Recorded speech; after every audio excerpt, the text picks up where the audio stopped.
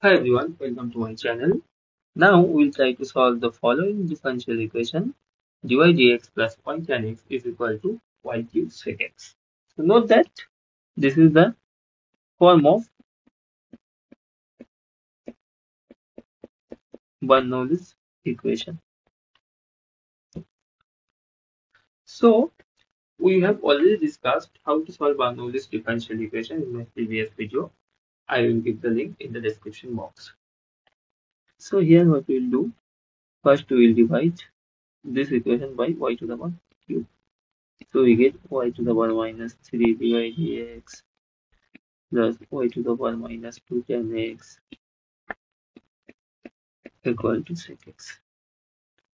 So we let y to the power minus 2 is equal to u. That implies minus 2 y to the power minus 3 dy dx is equal to du dx.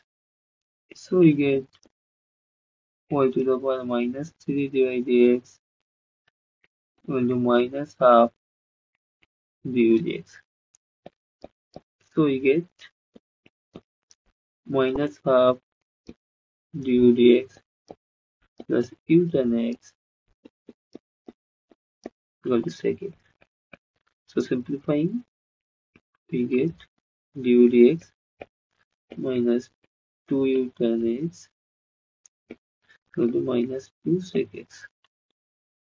So again we get first order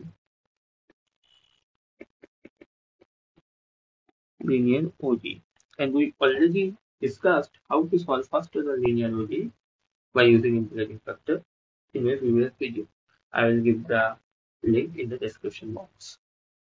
So we find integrating factor ix is equal to e to the power minus 2 tan x dx. So e to the power minus 2 log sec x which is e to the power log x which is nothing but square. So multiplying by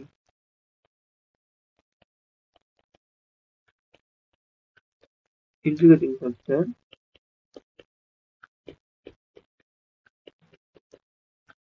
to the both side of 1 we get dx of q times cos square x equal to minus 2 sec x cos square x which is nothing but minus 2 cos x. So q cos square x is